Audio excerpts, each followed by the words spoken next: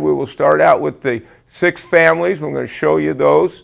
We'll start out, there are six zone read families. The first family is the two-man game.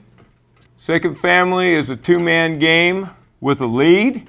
And we got a two-man game with a double lead. And we got three-man game. Then we got four-man game. And then we got one-man game. So when we talk about these, we'll specifically get into each segment of it. We'll break them down. We'll teach you about them, what they are, the definitions of each one, and what they entail.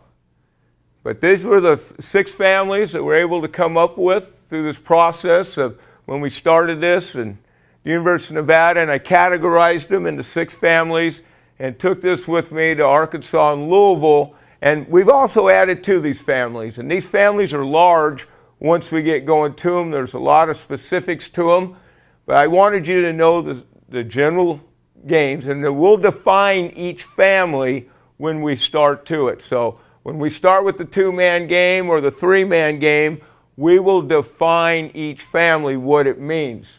Just a couple things to know for game planning, though. So, you know, we're talking generically.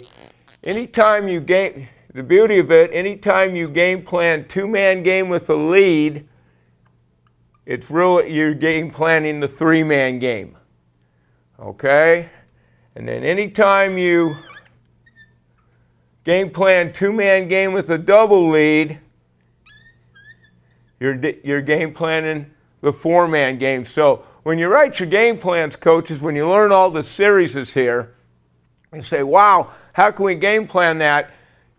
Anything specifically that you're going to do two-man game with the lead, you also use three-man game. You're just going to basically change a motion, you know, alignment of the third player, whether he's going to be a lead blocker or a pitch player.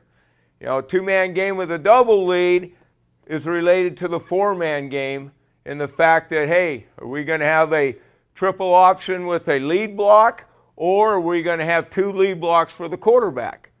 That's how they come together. So that's just a general note to know, you know, for when you game plan.